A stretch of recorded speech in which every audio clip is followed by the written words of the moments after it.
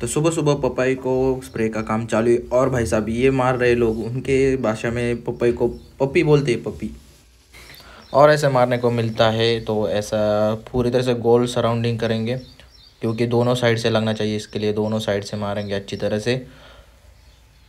Double नहीं मारना पड़ेगा क्योंकि वो ओवर डोस हो जाएगा। और बचा हुआ है ये सभी खेत में मारना है और नीचे भी है और एक खेत hello guys welcome to our new blog तो आज मैं आ गया हूँ पप्पे का यहाँ खेत पे। और आते ही भाई साहब काम को लगाया है मैंने लेबर को। और ट्रैक्टर इधर लगाया इसमें से पानी लेंगे, जो दवाई है, दवाई में इसके लिए स्प्रे लाया है मैंने। वो सब स्प्रे के लिए सब करके दिया है, देखो।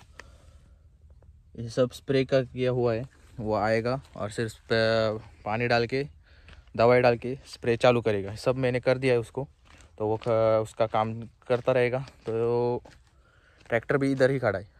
अब मेरा काम इधर का हो चुका है, उसको सब समझ दिया है मैंने। एक लेबर है, वो उधर काम को लगाया है, और ये दूसरे लेबर है, ये इधर लगाया है। जो आपने पहले वीडियो में देखा होगा व्लॉग में, जो अपनी ट्रॉली पलटी हो चुकी थी, वो इधर पलटी हो चुकी थी, वो दूसरी जगह पलटी हो चुकी थी, इसलिए उनको उठा के अपने जो पीछे है खत, उस पर डालना है फर्टिलाइज़र पे। काऊ डंग के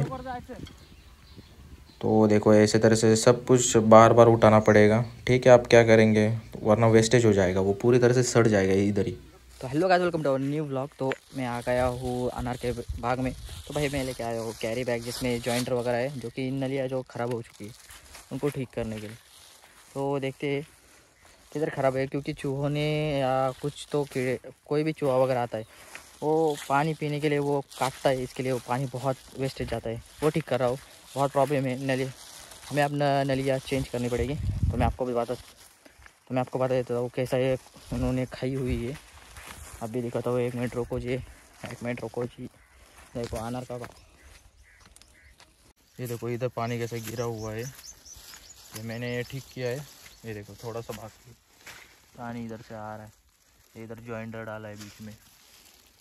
देखो, ये ज्वाइंटर डाले और पानी इधर से थोड़ा गिर रहा है। इसको जाने दो, नलिया चेंज करनी पड़ेगी। ये देखो, पूरा गीला हो जाता है। देखो गाइस क्या है मेरा। अनर था, इसको किसने तो खाया हुआ है, ये देखो। कैसे चूहे जैसा खाया हुआ है या किसी ने खाया, पक्षी ने खाया किसने खाया, ये मालूम नहीं, पर खाया ही भाई, बहुत तंग, हर बार चेक करना पड़ रहा है। थोड़ा कुछ नया दिमाग लगाना पड़ेगा। चलो, मैं निकलता हूँ, सब काम हो गया। मैं अकेला ही था, सब चेक कर दिया है। निकलता हूँ, घर के लिए, भूख भी लगी है। ये अपना नया लाया हुआ बछड़ा है, जो नई गिर गाय लाई थी उसका। तो अभी तक अपने चैनल को सब्सक्राइब किया तो सब्सक्राइब करो लाइक करो शेयर करो। ये देखो, कितना प्यारा है भाई साहब।